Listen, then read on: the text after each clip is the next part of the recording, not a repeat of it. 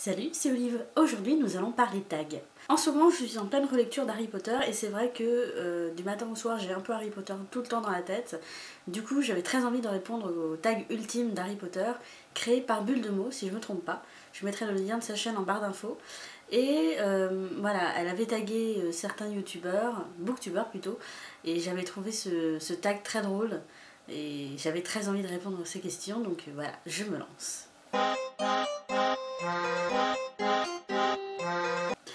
Retrouve évidemment le portable pour répondre aux questions. Et question 1, ton Weasley préféré? Alors c'est un Weasley qui est assez discret dans tous les romans, mais moi mon Weasley préféré c'est Charlie.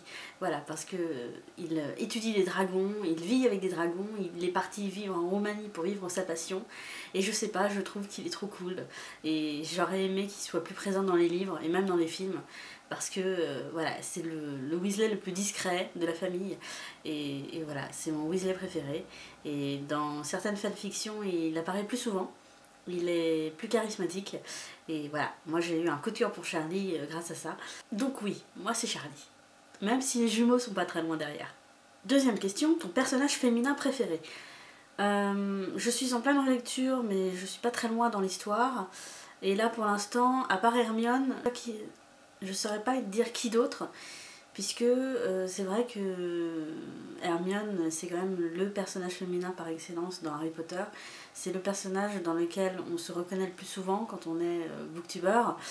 Et, je sais pas, là pour l'instant je n'ai pas d'autres personnages féminins qui me viennent en tête. J'aime bien Luna, mais je, pas, la connais pas encore assez bien euh, dans cette relecture pour pouvoir dire que c'est mon personnage préféré. Donc je dirais Hermione Granger. Troisième question, ton personnage masculin préféré? Severus Rogue ou Severus Snape. Euh, oui, parce que j'ai eu un coup de cœur euh, pour Severus et j'ai toujours ce coup de cœur pour Severus. Donc pour moi, c'est Severus. Voilà. Et oui, je l'appelle Severus. On est très proches.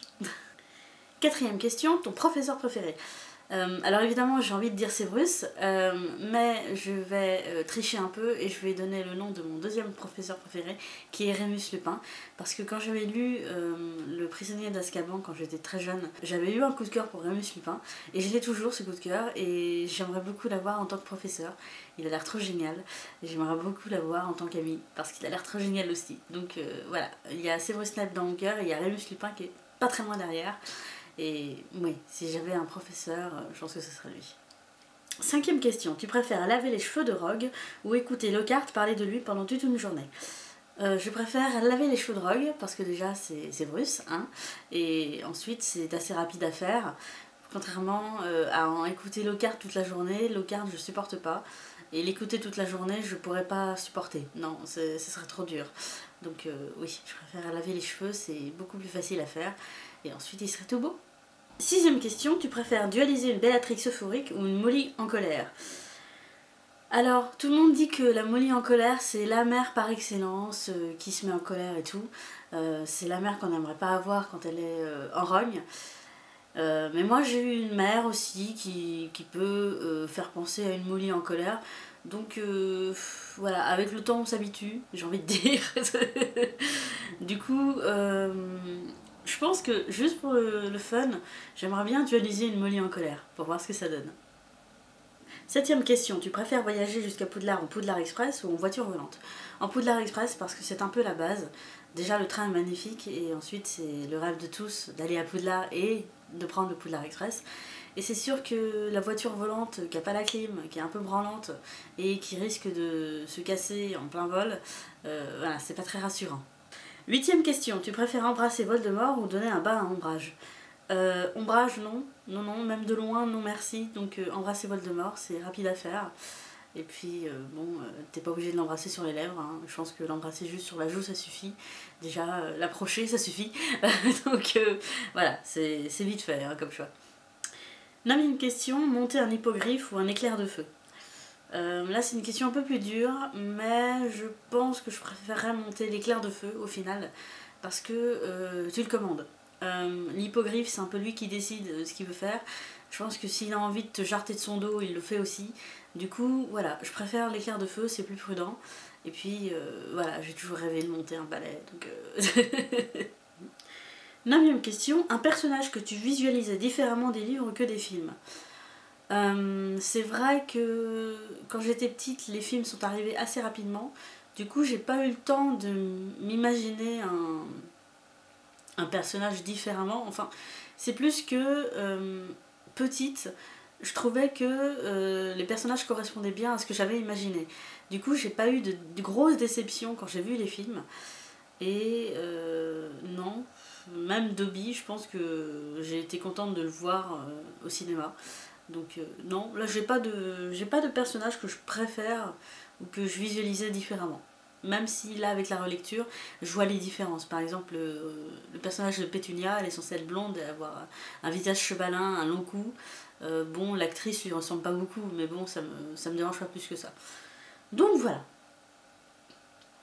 Dixième question un livre que tu préfères au film? Euh, le quatrième livre euh, le quatrième livre m'avait pas passionné mais le mais ça m'avait quand même plus passionné que le film. Le film, je sais pas pourquoi, c'est pas mon film préféré et puis c'est pas. Euh, je sais pas, c'est pas un film que je sens. du coup, oui, le quatrième. Question numéro 11. Quel acteur pour Dumbledore? Euh, Quand j'étais petite, j'avais pas vu la différence. Je l'ai appris plus tard que l'acteur pour Dumbledore avait été remplacé puisque le premier avait malheureusement disparu. Et je dois dire que les deux me vont, franchement. Euh, le premier correspond bien à l'idée du, du, directeur un peu fou que, qui, gouverne cette école. Et le deuxième correspond plus à, un Dumbledore un peu plus mystérieux, un peu plus secret.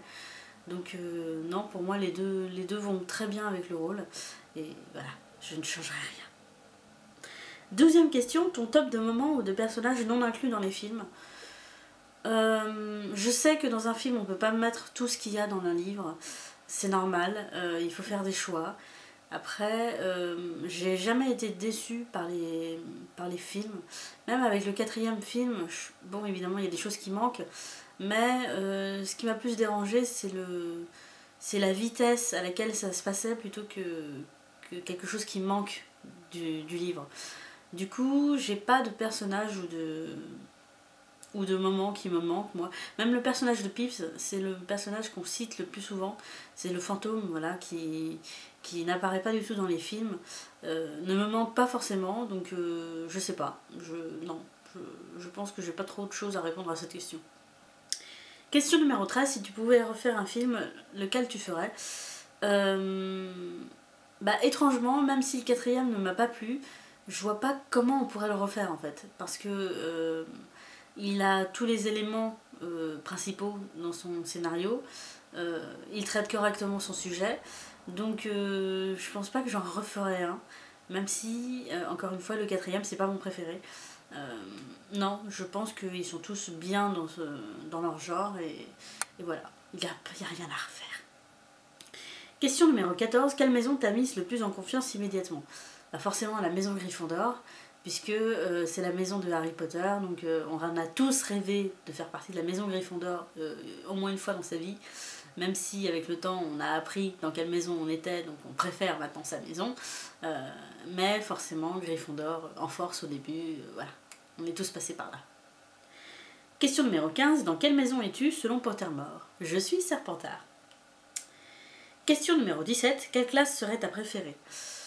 Euh, je pense que ce serait la défense contre les forces du mal grâce à Rémus Lupin. Parce que moi, si un professeur me plaît, je pense que la matière me plaît aussi. Euh, et sinon, je pense que ce serait euh, l'astronomie. J'aimerais beaucoup faire de l'astronomie. Question numéro 18. Quel sort est selon toi le plus utile à apprendre? Alors là, alors c'est pas quelque chose qui m'arrive souvent parce que je perds pas souvent mes clés je pense que Alomora est le sort le plus utile à apprendre. Voilà, pour qui perd ses clés, pour qui euh, a envie d'entrer dans une pièce secrète. Euh, voilà, c'est le sort à utiliser. Et voilà, c'est aussi l'un des premiers qu'on apprend dans Harry Potter, donc euh, je pense que j'ai un petit coup de cœur pour celui-là. Question numéro 19. Avec quel personnage serais-tu devenu immédiatement ami? Avec Hermione Granger, je pense. Voilà, on est toutes les deux folles amoureuses des livres on aime toutes les deux ne pas décevoir les professeurs. Donc je pense que je serais rapidement devenue amie avec Hermione.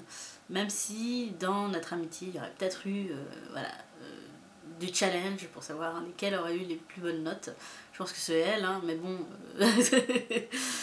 voilà, j'ai aussi ma fierté quand même en tant qu'élève. Donc ouais, je pense que ce serait Hermione. Question numéro 20. Si tu pouvais posséder une relique, laquelle serait-ce? Euh, Je pense que ce serait euh, la cape d'invisibilité. Voilà, c'est la plus classe. Et tu peux faire des bonnes vannes avec.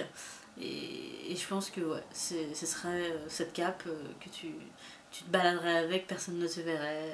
voilà, c'est l'idéal pour qui a envie de faire des farces et pour qui a envie de connaître les secrets des autres. Donc euh, voilà, ma, part de curiosité euh, est très attirée par la quête de visibilité. Question numéro 21, ton maraudeur préféré euh, Rémus Lupin. Voilà. Pourquoi on me pose la question Ce sera toujours Rémus Lupin. Même si Sirius n'est pas loin derrière. Question numéro 24. Quel personnage ramèneras-tu à la vie? Euh, Sévrus, bien évidemment. Euh, voilà, parce que c'est trop injuste ce qui lui arrive, excusez-moi. Mais euh, voilà, il a souffert toute sa vie, le pauvre bonhomme, et en plus il meurt. Donc non, ça se fait pas. voilà, juste pour, pour le venger, je le ramènerai à la vie pour qu'il puisse un peu profiter de l'après-guerre et qu'il puisse un peu se reposer, le pauvre. Et finalement, dernière question, Horcrux ou relique de la mort?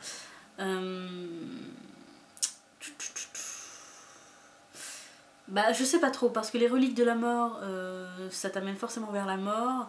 Alors qu'Orcrux, bon, même si tu vends ton âme, euh, tu as quand même l'immortalité, je, je sais pas trop. Je pense que je pourrais pas répondre à cette question parce que euh, les, deux, se valent dans, le, morbide. donc je, je, je ne pourrais pas répondre à cette question, je suis désolée.